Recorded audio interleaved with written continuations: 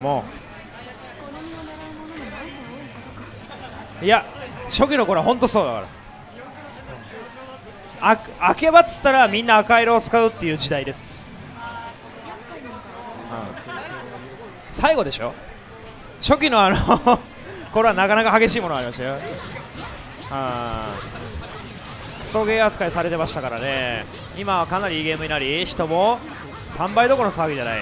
もう始まってますね。集団が当たってまずは黒焦げがボッコボコにされてる状態ですが。触られると強化されたセットでも防御は変わってないので辛い。おー後ろ回り。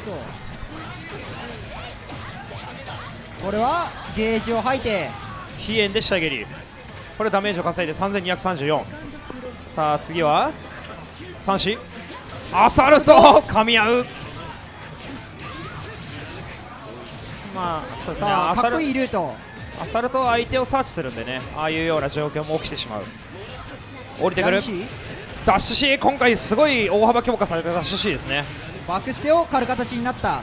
ガードした時点ではいきなり逆卓っぽくて怖いですよさっきのラウンドとは一定しおおてこれはセグが来たかガード。腰腰足払い。上から降ってくるさあ瀬戸のラッシュが止まらない。着地に入るがコンボに行けない。ここは押しっぱができなかったか。黒焦げさんが取り返す。追いかけてくる。さあ瀬戸は逃げながらリンネを能動的に動かして勝ちに行くのがこの組み合わせの基本。ゲージを一気に吐き出して。今のもあしゃがみくらいしている。中段投げを通る着地してくる。またしゃがみくらいしてしまうがどうだ？さあ接戦。お互い一歩一歩パーフェクトなんですねこれ横見たら。しゃがみくらいしてしまう。ちょっと見えないか？再び制御を置いて消していく。おーっと！あれはあれはビフリですよねビフリー。マイナス7に遅れてしまう。あっと取った！赤ビートでヒット確認してくる。ここはしっかりしてましたね。黒焦げの勝利。次は「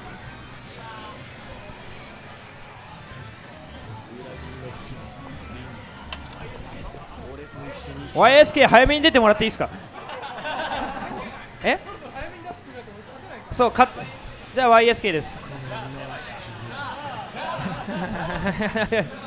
出てくるのはレジャーランの店員 YSK そうですね。YSK をチームに入れると3位以内に入賞できるというジンクスがあるだけの男です。さあ11戦2勝しかしてない。前回の大会から何もやってない。この男が舐めてるのか。ちょっとぐらいやってほしい。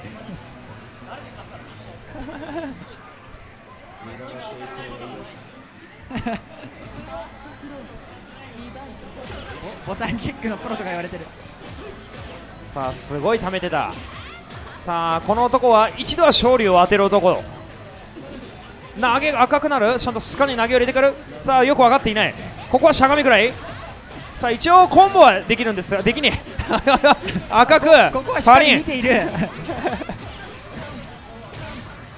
ああーお見合いがしてさあリエルドラムかなりリードしているが 5B が刺さってしまう今度はセトンターン。が CS は持たれているが。おっと。投げるパリン。あと一発。ダッシュウィィーさあ店員ちょっとどどや顔して。さあ俺は当たり前なと言わんばかりの顔しているが次はどうだ？まだわからない。シールド？これ見てからやってないですね多分。多分なんとなく割れましたね今。中段ここは？いい流れ。さあコンボは落とさないか？さあどうだ？ここでリロードミスはないか？リロードはできていない。ミスっている？さあここは引っ張って。さあどう出る？コンボいくか？ワンコンボ？さあこれはあと一発だ。さあ今のところ流れは順調。ここは中段が当たって。バキュン。うますぎる。うますぎる。さあうますぎる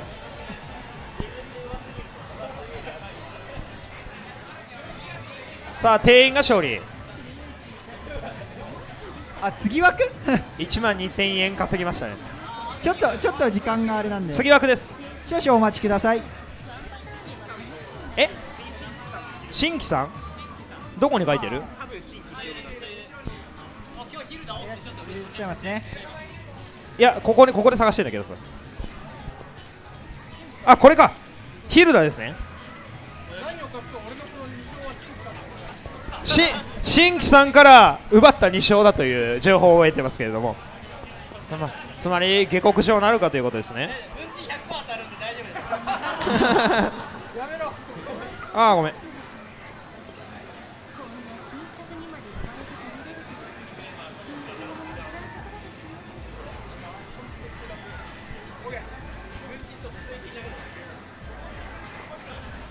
じゃあもう始めちゃって大丈夫なんでさあ YSK の2連勝になるか。YSK ってねカプコンの有名プレイヤーにも1人いるんですよ。こっちの方はあまり有名じゃないですけれどもちょっとできれば名前変えてほしい。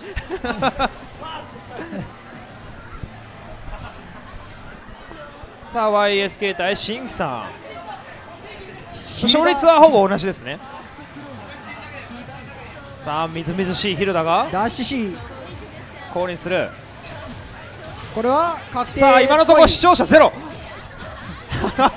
まだまだま だ誰も見ていない。始まったばっかりだから。48人増えたぞ。早い。さあ YSK のエルトラも駆けつけて視聴者が50名に増える。赤ビート。壊し着地。さあ新規さんから奪った。2勝を3勝に変えられるのか？といっても。長 V を通す。腹立ってきた。さあふざけやがって。なんで今の当たったのか？うおーっとここはダジャンプビー。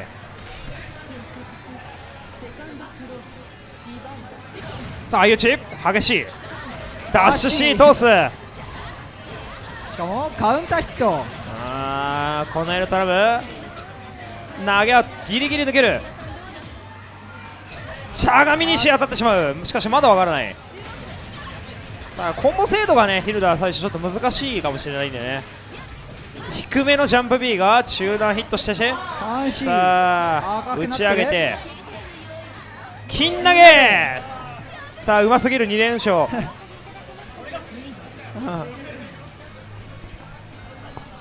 というわけで、えー YSK2 連勝。次は誰になるでしょうか？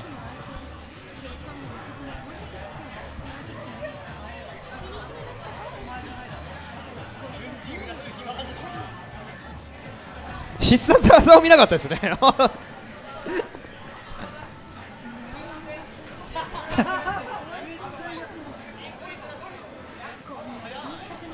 もう炎入れちゃうの？中段バルポッポさんの？炎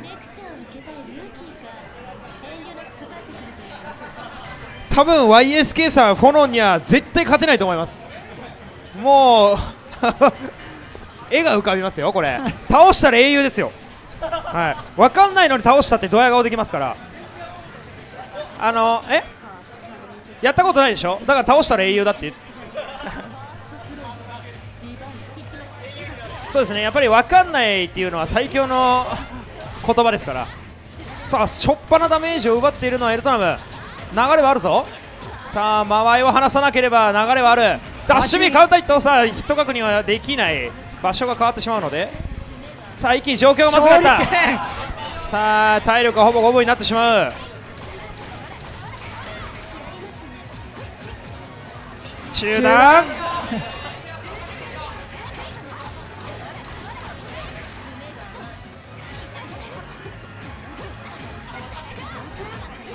さあ分からないぞおっとおーっはい。とシールドを誘って投げは抜ける。着地壊し連打が強い。5C がカウンターヒット。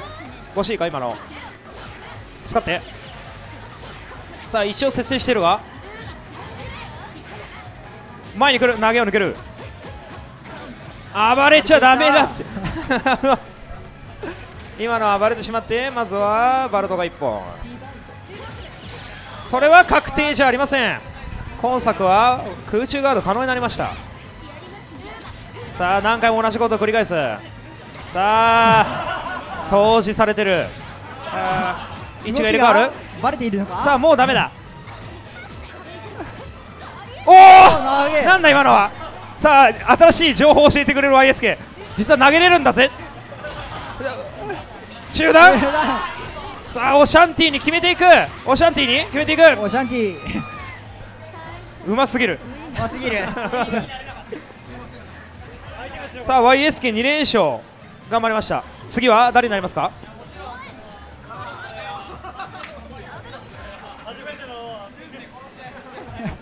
さあ夫婦で。わわざわざわざわざチーム分けたんだ2人を。夫夫婦でバトルロワイヤル。ほのほの同キャラ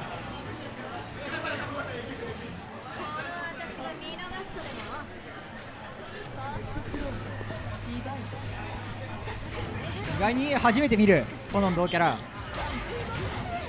さあ基本的には地面を掃除してかなりおっぴろげモーションで牽制し合っている。こういうゲームなのこれ。ああんまりこういうあんまこういうのじゃなくてもいい気がするね。そういうのじゃない。一応まずはこういうのもあるよというところからです。カウンターヒット距離をしかしこすっている。ダッシュを抑制して。YSK ってあの YSK じゃないです。残念な方の YSK カンポンで有名人にいるから。カペースの方いらっしゃる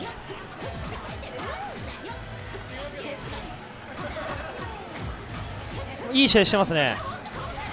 さあなんかバルトはなんか嫁に弱いっていう話を聞いてるんですよね。結構なんか苦手だということで。位置を入れ替える。抜ける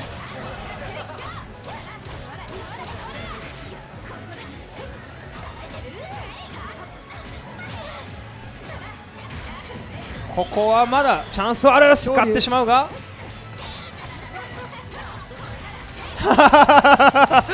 紛らわしいまでやれたまずはバルトが1本取っている。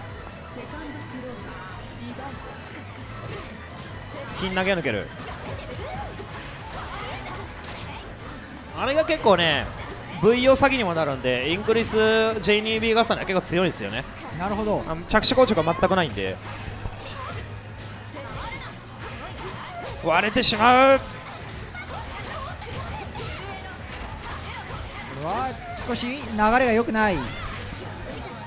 さあこうなると結構強いですよ。一応2択が仕掛けられるようになるんでね。これは痛い。発生が早いですね結構。これはやるか？やらず。今殺せたんですね。投げは前に投げる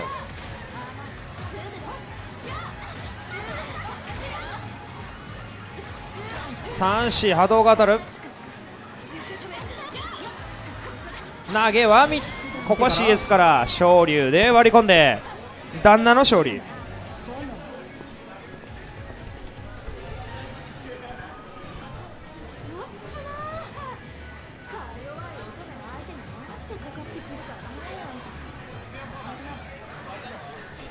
ありがとう。次は？アシミレーションさん。これだ。アシミレーションさん。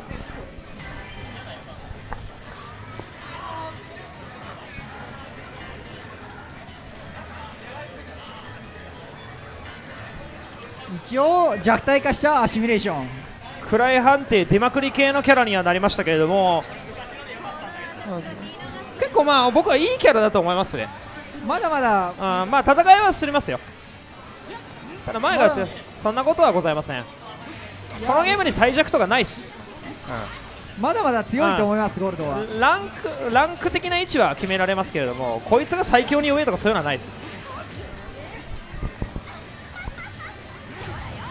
グリムが怖いか。ここはインクリース。垂直 JC を混ぜていくが緑ビートだったので一応緑シールだったので投げは確定しましたね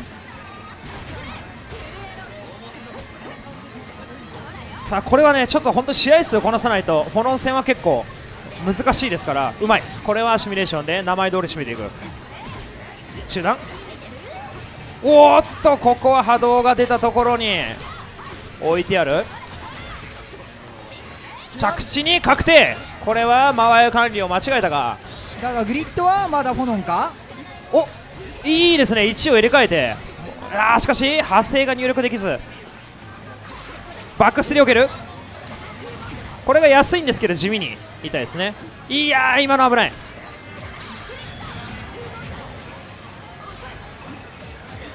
さあゴールドの真骨頂。CS が溜まった時が本番だが小足が当たってしまう。これが決定打となるか？時間を稼いで。上で上で停止するので時間稼がしちゃいますね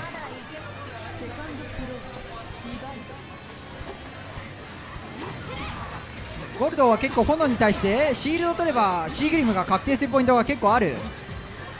そうですね。おお2足。今のは竜の中足。ヒット確認がしやすい。結構カウンターが多いですね。ワンコンボ。ちょっと噛み合わないか。JA が最速中段になります。CS 持ってる時は走って壊しと結構2択になりますね。VO がアードされてしまうここは？バルトの勝利。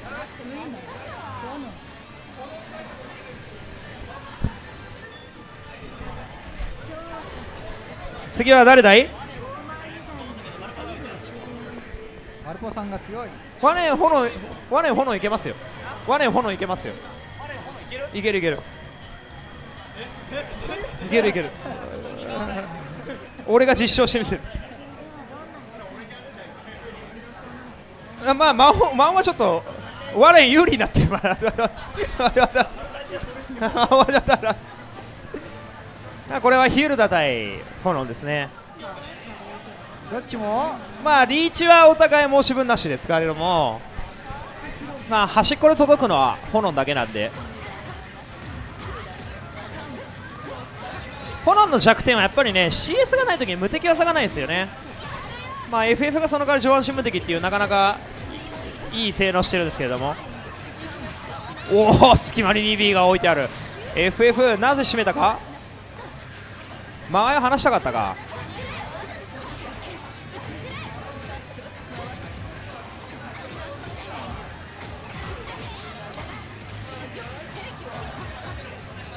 3C はねしゃがみシールドを取った後に飛び道具の前でアサルトを通せるんで前に行くことは可能ですね。これキャンセルかかるんでね。ガールされた時にキャンセルかかるってのはなかなか。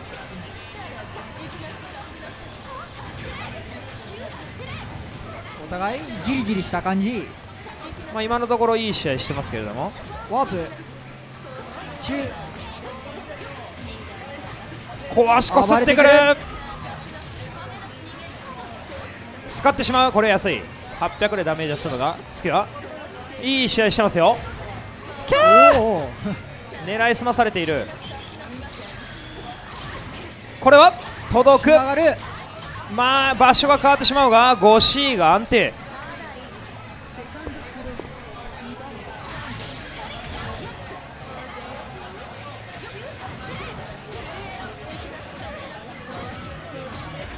これはディレイかけたタケノコが当たり。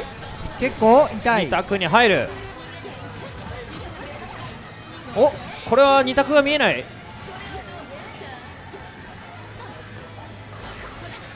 使わせて今は状況より。ああこうなるときついですよ。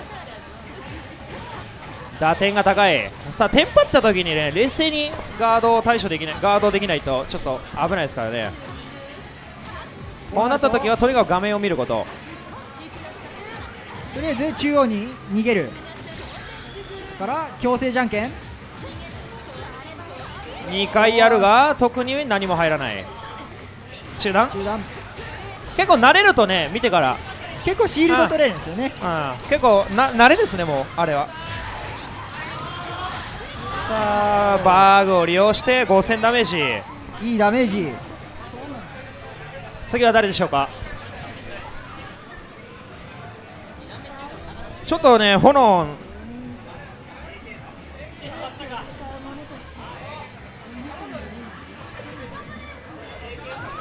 AK さんの七瀬。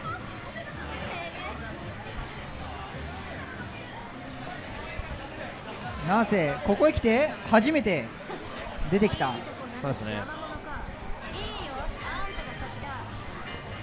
さあ先ほど大型連勝をしているのを見ましたけれどもさあこの組み合わせどうだ？僕僕これあのあんま結果出すのはあれですけど結構しんどいと思いますよ。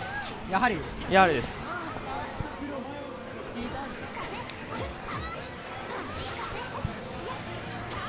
七瀬はねそういうことを結構聞かせるのが難しいんでね。今 2B ですかね。あのダッシュ攻撃がいいのがないんで結構フォロンのガードずっとガードしてないといけないですよねなんとか投げ当て今ハマっている。この流れを維持したいがここはジャンプで避ける。グリッドを回収して。さあこれは一周入れ替える。になここは勝利が届く。ダッシュ B に小足が置いてある。投げは抜ける。これはリスクがある。ゲージがないと危ない。しかしここはちょっとグダグダか？あーっと噛み合ったが 3C が当たってしまう。多分そうです。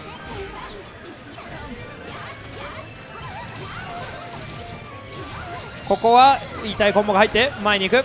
投げが通る。じゃあ守備。投げが抜けて暴れたところに 2B 壊し壊し。さあこれは守りの硬さがものを言う。ここは下下スカってしまう。さあ炎慌てているか？前に行く。ここは昇竜拳さあしっかり対応していく。冷静にまずは1本。ここは開幕。これ結構痛いですよ。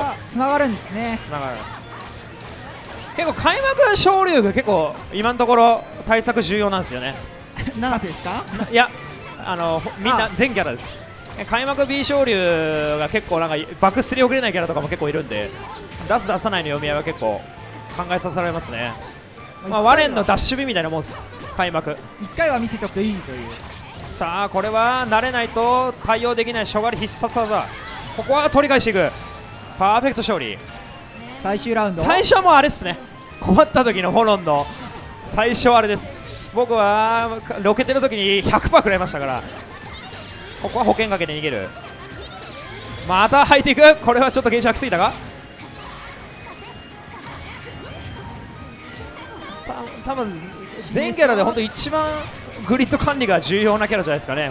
七瀬は。FF とか使うとそう FF をでね。FF を増せないといけないんで。さあなかなかそうですね。あの七瀬の得意前に入れないですね。今はまだ我慢の時間帯。今状況はいいんですけれども。ここはチャンスが生まれる。つないで。ああここは高すぎた投げが通る。ワンチャンス生まれる。ここは状況が？七瀬の最も得意な間合い。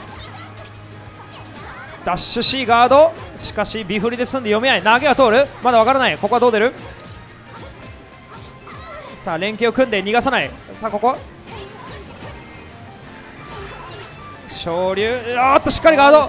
あれは昇竜で確定取れたがシールドで取らなかったので難しい。投げが通る。ここはまだわからない投げが連続。さあお互い接戦。うわーっと 2B がカウンターする。ここは七瀬勝利さあ次は誰になりますか？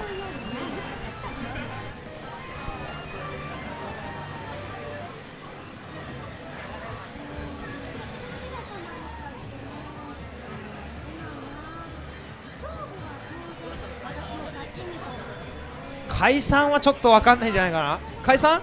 龍馬？え？有酸あの太い方ですか？あ太い方の太い方の有さん。太い方の U は今やってまいます。かじゃあ太い方お願いします。これ社長ならせてやってるからきっとならせは慣れてると思う。まあこのこの U さん俺とやってないですから。ほほとんどやってない。です彼にも投撃準優勝ですよ